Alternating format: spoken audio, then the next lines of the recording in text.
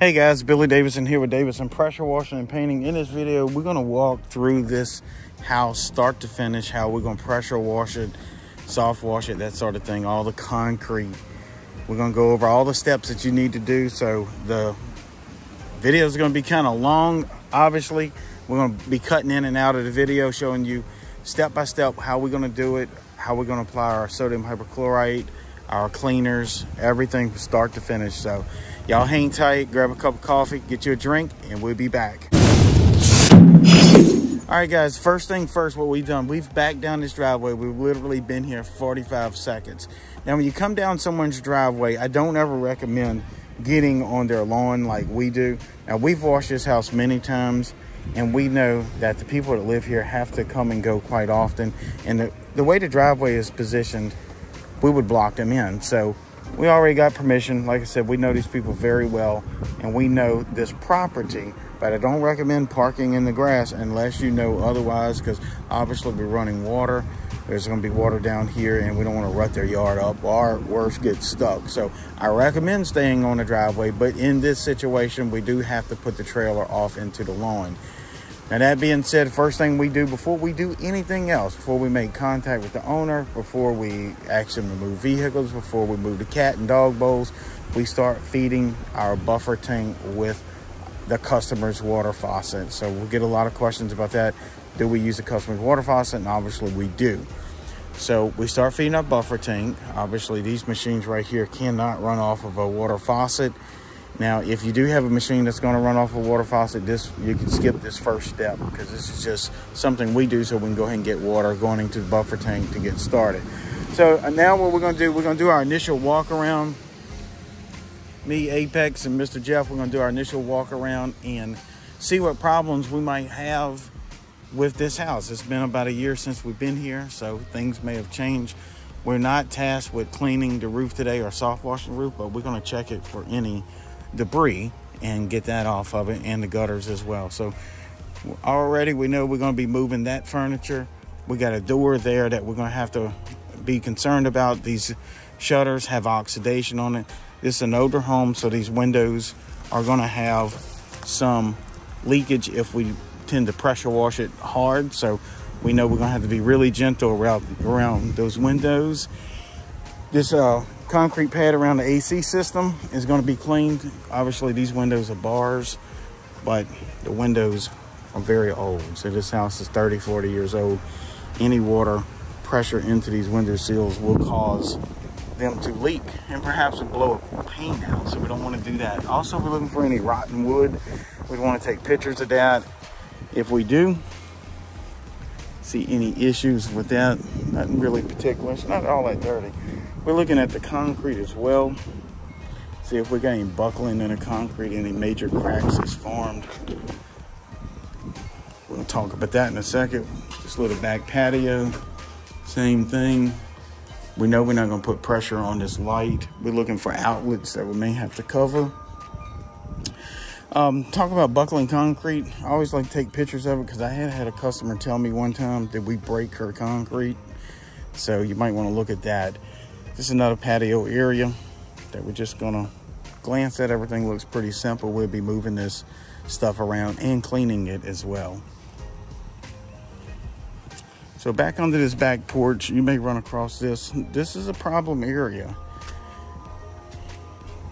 A lot of this stuff is gonna have to be shuffled around and moved and cleaned as well. So we're looking at fragile things that's on the wall that may blow off. A lot of that, obviously, there's a TV, so we'll be very selective in here what we're doing with our pressure washer or our soft washing wand.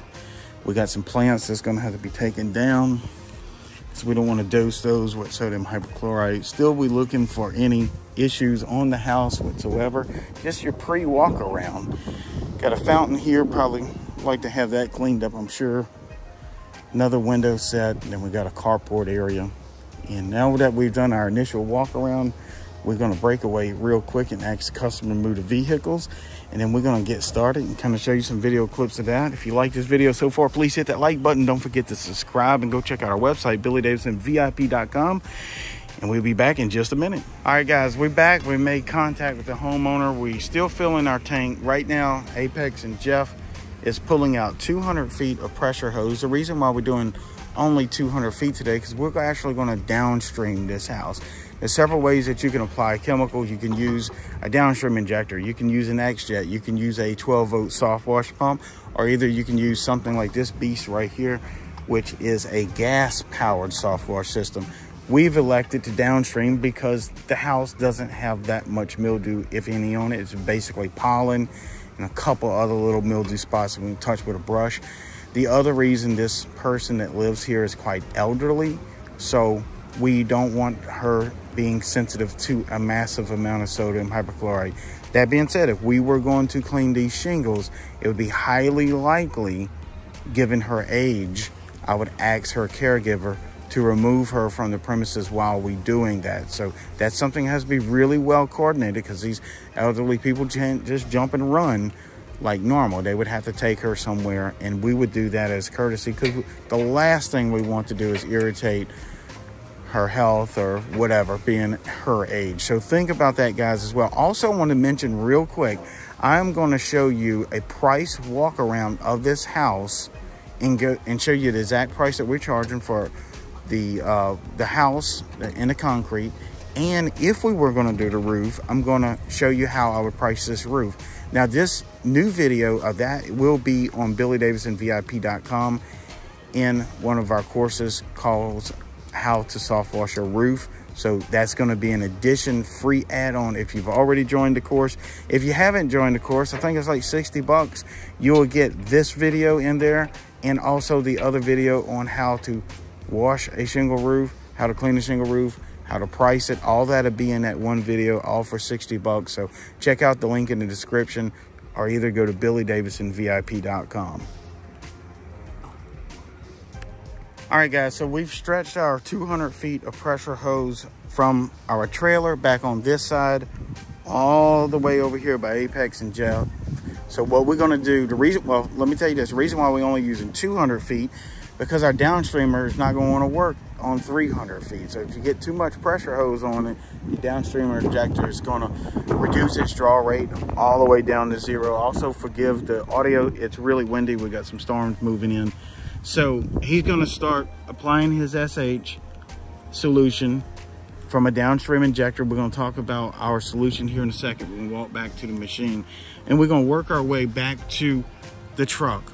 Now you can do it however you want, but I found that that's the best way. Work your way back, stretch everything out, and then follow that line back to the trailer. And then at that point, we're gonna shut things down and we're gonna show you something else while, while our sodium hypochlorite dwells. So I'm gonna go walk this away and start the machine. Also, while we're walking, we're still looking. Although we've done our preliminary walk around, we're still eyeballing things, making sure nothing's damaged, nothing's broke. If this needs cleaning, that sort of thing, making mental notes, that sort of thing. If this something's broke, you're gonna document it with a picture. So we're walking back. We know she has some landscaping here, so we're gonna be careful about that. Downstream injecting not really going to bother that anyway. But we're pre-wetted anyway, and it's about to rain. So now if it's 100 degrees out here and there's no rain in the forecast, that's a different story. We're to have to pre-wet that. Here's our little SH tank. We got 12.5 in there. Since this house is not bad, we've got that cut in half. So it's actually about 6 to 7% SH in there. We're to directly downstream inject it. And this is to be just kind of showing you some raw footage right here. This is my downstream injector. So I'm gonna take our cap off. Usually I have a drop stick, but I got camera in one hand. Guys, if y'all liking this, leave a like, leave a comment. This is taking some time out of our day, but we want to show you this so you can learn. So this is my downstream injector. This hose shouldn't be no more than about six or eight feet long. If you try to downstream injector off of 10 feet, then you got the coefficient drag of the hose blocking that downstream injector from drawing. So that way you have a reduced draw rate or no draw rate at all. So it's going to get loud here. I don't like to run this machine on full power when I'm downstreaming. I feel that we get a little bit better solution draw rate if we run it on less power than full power. And that's going to be the case with your machine too. So I'm gonna run this on probably about 30% to all we need, just because this machine's so big. But if you got a smaller machine, you might have to run it a little bit stronger. So here we go. I'm already hearing the downstream injector drawing. Maybe you can hear it. And also, I did check that before I started recording the video, just to make sure my downstream injector is drawing. So we're gonna start it on an idle. Of course, apex is all the way back down there. Now we're gonna idle this up about 30, 40%.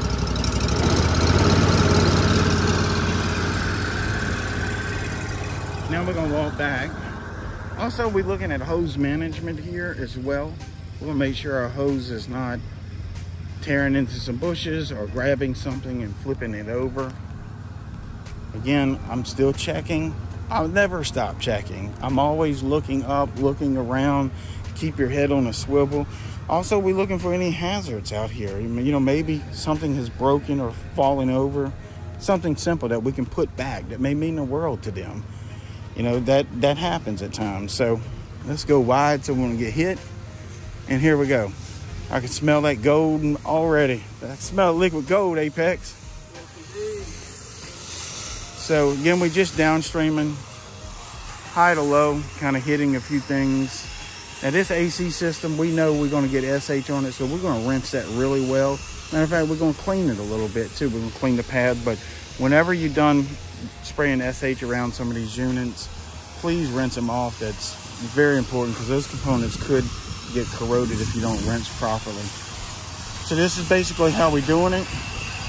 Apex is putting a coat on everything. Now watch the way he does his windows, guys. It's real important.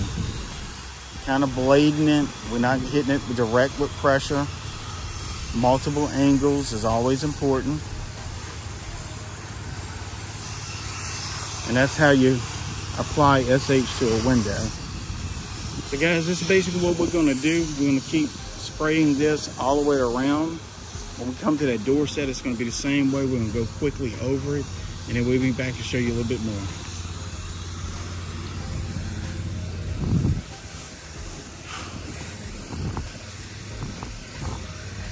You wanna be on YouTube with me? All right, guys, so we back. We've downstreamed everything, got our solution sitting on it for the last five minutes. I like it to sit for about 10 to 12 minutes. We're an overcast day today. If it's hot and sunny where you're at, then you're gonna have to pay more mind to it. Remember, if it's wet, it's still working. So what I mean by that is if your solution on this house is still wet, leave it alone, especially if you still got some mold to dissolve. And you know, you can come by if you see it starting to dry and you still got mold present. This goes with 12 volt any soft washing techniques, you can reapply your chemical. If it starts to dry, you want to reapply your chemical. You don't want your chemical to dry on there. It can leave residue and the salts in our cleaning solutions can kind of get stuck on there. And it'll come off, but it might take a little extra work. So we don't want our chemical to dry on the house or the windows. So we're keeping an eye on it. And then we're gonna come back and rinse it. Now this brick right here, a lot of times you'll see brick that's really severe mildew the downstream injector is not to take care of that. In this case, this is not that bad at all. But if you do have brick that's really green along this bottom or red clay stains, that's something else you got to deal with. Now, if it's mold and mildew, you can come back and apply a stronger solution.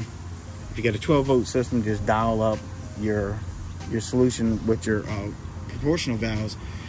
Or if you're doing an X-Jet but I'll tell you what, I found a pump up sprayer. If you got some hot spots, that's what I call them, that you got to retreat, you just have your pump up sprayer and just come by and hit your spots if you need with a little bit stronger solution. Instead of trying to coat everything with that strong solution, just hit the hot spots with it. That'll help you out. Now on this brick, we can use a little PSI on it. Uh, this right up here, we're going to use 50 or 60 PSI on the wood part, vinyl, whatever you have stucco. That's going to be a real soft wash technique. On the brick, we can go two, three, 400 PSI on it and kind of remove some of this stuff. I don't advise putting anything over about a thousand PSI on brick. Matter of fact, I think a thousand might be a little bit too much, but in a bad case, you know, a thousand PSI is all you should put on brick. Myself, I tend to keep it well under 500 psi. So think about that, especially older brick. Um, you can, you know, mess up the mortar joints or remove some of the face of the brick. I've seen guys try to remove this stuff right here. Don't. This is the design in the brick. And some people think that's effervescence. It's not. It's just the brick design, but I have seen it, so you don't want to do that. Soft wash, and look, five or 600 PSI is not going to remove this anyway. Even a thousand PSI probably wouldn't remove it, even if you went that drastic with your PSI. So five or 600 PSI, you're not going to remove some of this but you will re remove some of the mold and mildew. There could be some stains on it. A lot of times around these boxes, you'll see some stains and stuff. We're not really tasked to clean that. If this is red brick stain, that's a whole nother uh, animal there to, to get rid of that. We'll be talking about that coming up on the YouTube channel. So as this is dwelling, Apex is down here cleaning this concrete with the wand, that sort of thing. We're gonna be doing some surface cleaning in the back, so stick around for that. Again, guys, we're going to do a price walk around, how to price out one of these jobs from top to bottom, high to low. And we're going to put that on BillyDavidsonVIP.com. So there'll be a link in the description. Just check that out. It'll be in the course of how to soft wash your roof. So we're going to add that to it free of charge. If you're already a member of it, just go check it out and you'll learn how to price out these jobs. If you haven't joined, go ahead and get it. It's only 60 bucks. Again, we're going to show you some more stuff here in a minute. So y'all hang tight and uh, got something interesting to show you around the backside. So guys, we still got our solution dwelling. Apex is circle back around because we're getting ready to rinse. I'm gonna show you that, so don't go anywhere. We're just cleaning up this AC pad. Remember, these coils are fragile, so you don't wanna put pressure into these coils or anywhere. But we, go, we do wanna clean up the pad a little bit. And we also inspect it as well to make sure there's no ants clogging up something, something we might would have to bring to the attention of the homeowner. So again, he's just doing that pad and then we're gonna start rinsing the house. We're gonna kind of show you how to rinse these windows properly. Again, these windows are fragile. And even if they wasn't fragile, we wouldn't want to put a whole bunch of pressure on this at all. No more than about 50 or 60 PSI. So we'll start rinsing. You ready to start rinsing it? So again, we're gonna rinse it high to low. We'll start at the top and just start kind of rinsing. You'll see the amount of pressure that we're going to use is very low. Now, this is a J-Rod, and it's rated for 8 gallons a minute J-Rod, so it's a real soft flow on it. Now, if you have a 4 gallon per minute machine, you can also use a J-Rod. You just have to get a, get a J-Rod that is rated for your machine. Also, another good way to rinse if you got a 4 gallon per minute machine or an 8 gallon per minute machine is using an X-Jet adjustable nozzle, the one that opens up as a fan. That's also a good rinse technique as well. You can use a black tip, that sort of thing. Uh, you don't want to rinse with a yellow tip because that's not rinsing. That, that's more of a pressure washing. And it does take this flow of water to release some of this stuff. You can get in here with a pressure washer and it's not a good rinsing technique to use the pressure washing nozzle like a yellow tip. So just a soft rinse you could also do this with a water hose. You know, you're not going to have much results doing it with your 12 volt system, rinsing with that because it just doesn't put out the flow or the PSI. So right here, we're probably using about 80 PSI at best. And as you see, it does really good rinsing. And we're gonna just walk around the house and rinse everything from high to low, double checking everything. Sometimes you do have to touch up this foundation so look at that if you have that problem issue going on on the house. Now, if we had gutters here, we would already have debris the gutters. But in this case, everything's fine on this side. And because you want to work high to low. Because you wouldn't want to rinse, get everything washed and rinse, and then figure out you still have something to do above your clean work. So think about that. But guys, if y'all liking it so far, please hit that like button and we'll show you some more footage here in a minute. All right, guys, we're on the back side of the house now. We've treated the, the house with sodium hypochlorite downstreaming, just like you see in the front. Just trying to cut the video not too, too long, you know, so just kind of showing you some highlights as we go along. As Apex is, we let this go off about 15 minutes now. Apex is going back kind of doing some rinsing and trimming. He's got a J-Rod on there that puts out about five or 600 PSI. And we're just doing some trimming inside that little patio area then obviously we're going to come back and do our surface cleaning here. And I like to do my trim work before I surface clean.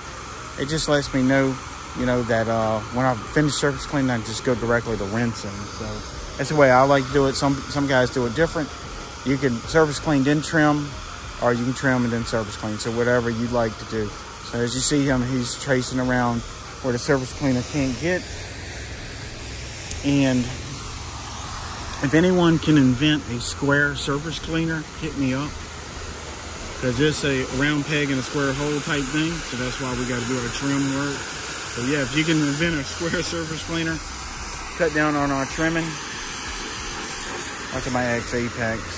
Apex, you think you can make me a square surface cleaner to cut down on trim work?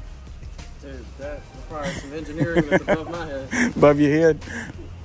so anyway, I knew I would get them.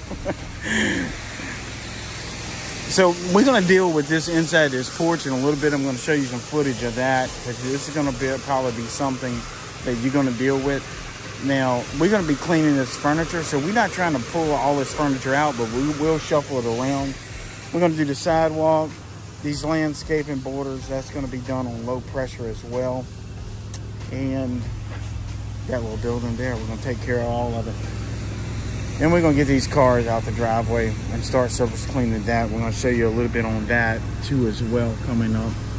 Guys, again, y'all uh, hang tight towards the end of the video. We got a lot more to show y'all.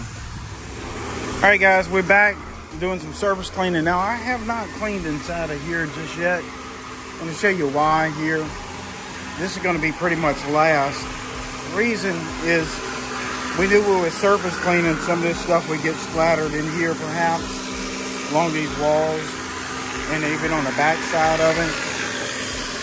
So we're gonna kind of clean this last and then rinse it out, clean the furniture, rinse all this out to here whenever we get ready for that.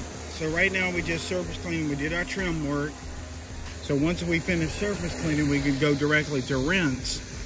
And under rinse pressure is what we're gonna do, cleaning that in there with some hand brushes if need be. So that's the reason why I structured it that way. And guys, sometimes you're gonna, you're gonna wanna do it a little different.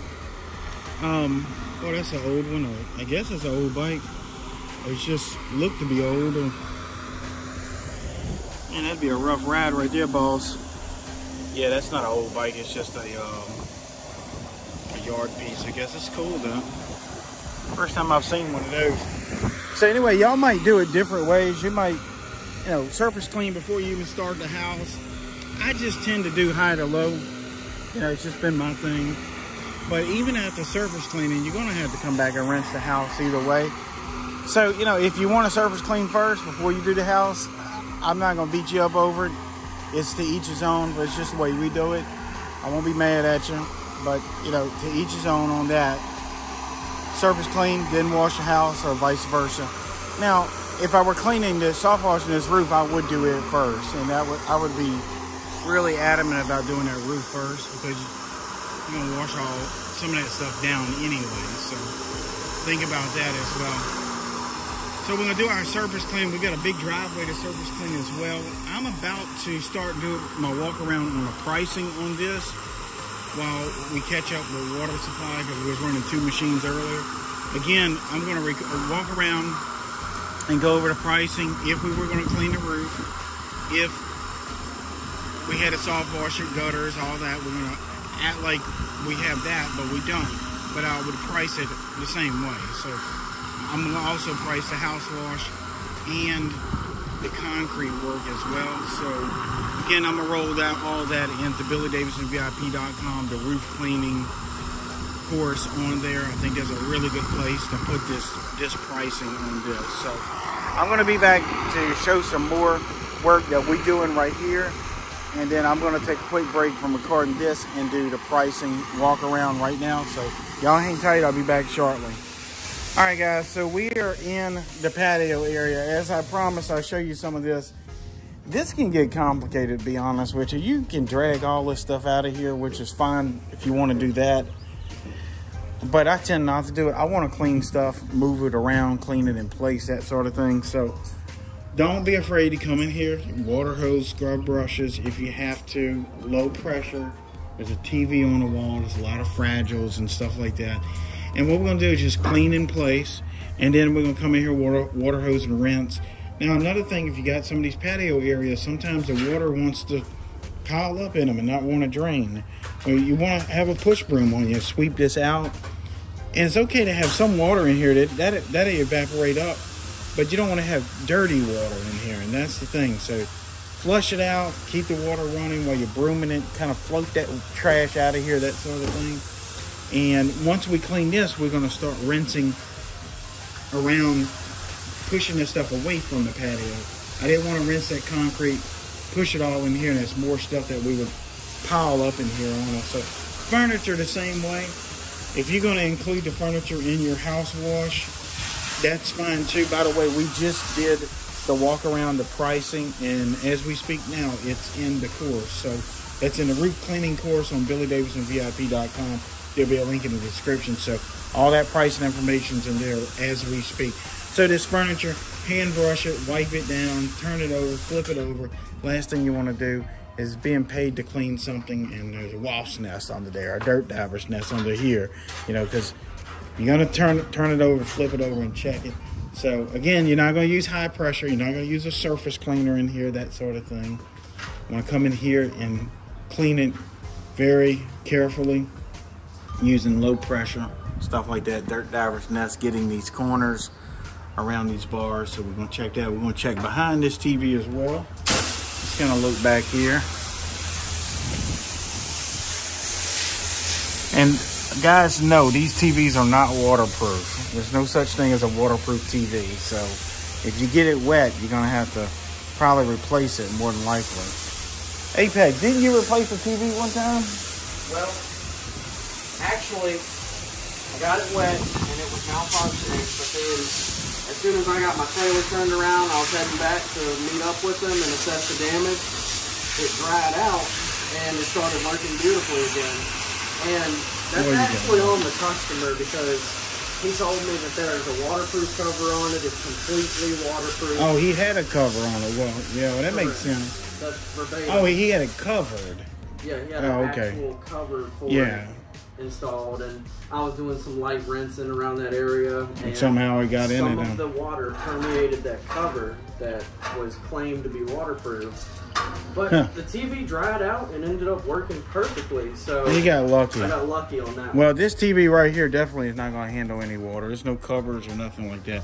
I heard one person tell me they make outdoor TVs. So- no, this is just a TV that they bought out of one of the big box stores and they hung it on the wall. So, it, you know, maybe it can handle a little bit on the, the screen, but we don't we don't want to do that. We're gonna hand wipe that down with a damp cloth. So, guys, this is what you're doing. Remember, you're flipping these furniture over, lawn furniture. You need to be paid for it. We talk about that in the course that we just recorded. So, how much to charge for that? You'll go in there and see that. And you know, it's worth it because you need. You don't want to do it for free, for sure. So you want to add that into your estimate with the customer. As you see here, we hand wiping this stuff down with a scrub brush, that sort of thing. So guys, we're going to show you some surface cleaning here in a minute. Again, if you like this video so far, if it's been helpful, please smash that like button. Don't forget to subscribe and hit the notification bell. That way you'll be notified the next time we upload a video or do a contest to give away something here on Billy Davidson VIP.com's YouTube channel. So we're going to be doing all of that here in the very near future here on our YouTube channel. So make sure you share this too as well. Maybe there's someone out there on your Facebook group that can get some benefits from it. Maybe not necessarily competition, just someone all the way on the other side of the country that, that might could use some of this information. So we're gonna do some surface cleaning here in a minute. Then we're gonna go, go grab some lunch once we get this job done. We're fighting some weather moving in. It's supposed to be some terrible weather here in Louisiana later tonight. So we want to try to get everything wrapped up, get the check in the bank, get some sandwiches in our stomach, get the equipment in the shop, and call it a day. Guys, we'll be right back doing some surface cleaning. I want to talk to you about that, something very specific on that that might could save you hundreds of dollars, a mistake that is. So we'll be back here in a second. So guys, what I wanted to show y'all with the trim work before you surface clean, we just cleaned the inside of this carport area. We actually washed her car too. And it is full of pollen. She doesn't drive often, so this car doesn't move. But nice to have it go ahead and clean. Just go ahead and wash it off for them. small things some, sometimes like that matter. So we surface cleaned, uh, well, we're gonna surface clean this driveway. I'm gonna show you some of that video as well.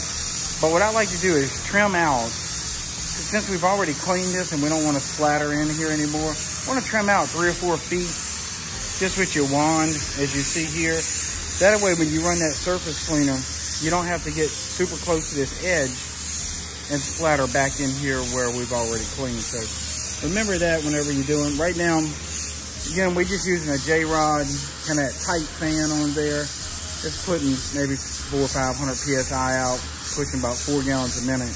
And then when we get on the surface cleaner, we're gonna dial this thing up and run it probably about eight gallons per minute. That way we knock out this square footage on the concrete. And again, we measured all that square footage and put that in the pricing part of this on BillyDavidsonVIP.com under the roof cleaning course. So that's where you can find out how to price residential houses. So we're gonna do some surface cleaning and we'll give y'all uh, some more videos that here in a second. All right, guys, we're on our final step of how to wash a house, how to pressure wash a house, start to finish. Obviously, that word pressure wash is kind of not exactly what we do. We pressure wash in the concrete, but the house is more of a soft wash. But our final step, we're doing our surface cleaning, and then we're gonna be out the door. And basically what I like to do is save this for last. Now, we'll come back and rinse it as well. I'll show you some of that here in a minute. But as you see, some of this water starting to pile up. I know a lot of guys on YouTube say do the lowest area first. I, I don't quite agree with that yeah, this water is going to pile up a little bit, but our machines just cut right through any standing water. I like to go high to low. It just helps out with rinsing so much. And there again, if you do have some standing water, you want to clean under it. But if you can't get that water evacuated out of there, it's not that big of a deal. You can always double back the next day and take a blower or a broom because it's going to dry out to be a fine powder. And if you got to shove everything to one low area, we call that the dependent area if it's being dependent in one area of the concrete, you know, do, do what you can, but don't spend all day trying to broom out this water and all it's gonna do is just flow right back. And like I said, a couple days you can come by and won't even be there, or you could just broom it up the next day when it dries out. And that's really not your fault. You can't control these people's drainage, but you can do what you can to make the job look decent. So we're gonna surface clean high to low. We'll make our way all the way out there to the road. Then we'll rinse it, then we'll roll up, and, and that'll be that. But I'm gonna show you a couple things on rinsing that might could help you out and a couple things else on the surface cleaning once we get down the driveway.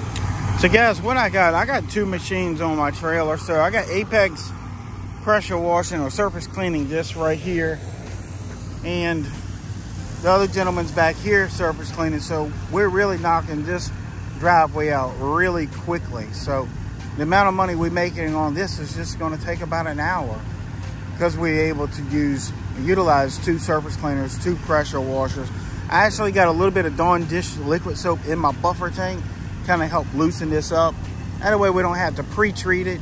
And oftentimes by using that detergent in the buffer tank, we don't have to post-treat it either. There's no lines or streaks. So we'll see how it comes out after we surface clean it. There may be a spot or two. But as you see here, this is only about 30 or 40% power But since I'm running two machines, I'm watching my water level and it's still doing quite well with it. So we're gonna show y'all some rinsing techniques here in a short bit. All right guys, we've got this surface cleaning. It literally took like 33 minutes to do it. And once you watch our pricing video that we put on our website under the roof cleaning course, you'll see how many square feet it is and you can add it up, how much you can make an hour surface cleaning. So right now we just using an open hose rinsing high to low. Like I said, there's going to be some areas that's going to be a little dependent. And I am just not going to sit out here for six hours trying to push this water out. I may swing by tomorrow or the next day with a blower and blow it out. Of course, I'm going to get it as good as I can, but we're not trying to cut ditches and dig ditches for these people. And this is the way we're going to rinse from high to low. Now, I got both my machines paired together they both running about six or seven gallons per minute right now. So out this hose, I'm probably putting at least 12 to 13 gallons per minute down. And it's just gonna make a really quick rinsing project for us. now that hose right there, you don't want to let go of it because it would be like a loose cannon at that point. But as you see here, we're just pushing this off and I still got a little bit of suds in there, kind of help pushing some of this dirty water off. And we, of course we don't have to recover this water because we're just pushing it down and then off to the side in the grass where it belongs. So that's one question I get, do you have to recover the water? And no, you don't, so long as you get it off the concrete, not in the ditch. So, so that's about wrapped up for this. I hope y'all like this video, how to wash a house start to finish. If y'all um, leave a comment, got any questions, I'll be answering them in the comment section below. And don't forget to hit the like button, subscribe, hit the notification bell. That way you'll be notified when we upload another video. Guys, we hope to see y'all in the next video.